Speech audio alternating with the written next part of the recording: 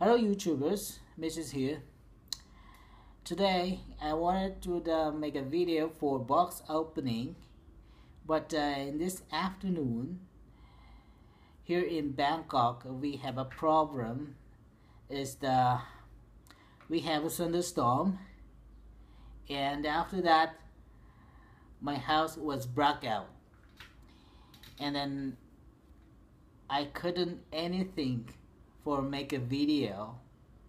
So uh, now is the light is coming. And then everything fine now but still outside is the the heart rating this time. And then open the box opening video. Now uh, I already opened it. And then uh, but I want to, to show you the what was in the inside the box. Here we go. This one uh, the Seattle Pipe Club plum pudding. Uh, it's good stuff. I never tried this one. So uh, maybe tomorrow I'm gonna smoke this one. Okay and then what else? Uh, Mac Baren plum cake navy brand navy blend. Here we go.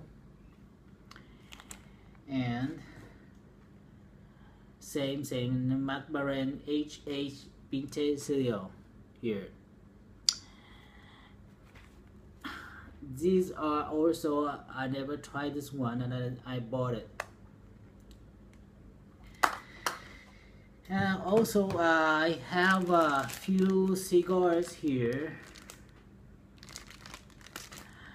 And uh, this one is the humidity bag for Humidor actually uh, yesterday I ordered the Humidor maybe in two weeks or 10 days uh, come to my home uh, of the Humidor but I don't have any experience for the prepare for Humidor so uh, you guys do you have uh, if you have any idea you guys then please let me know.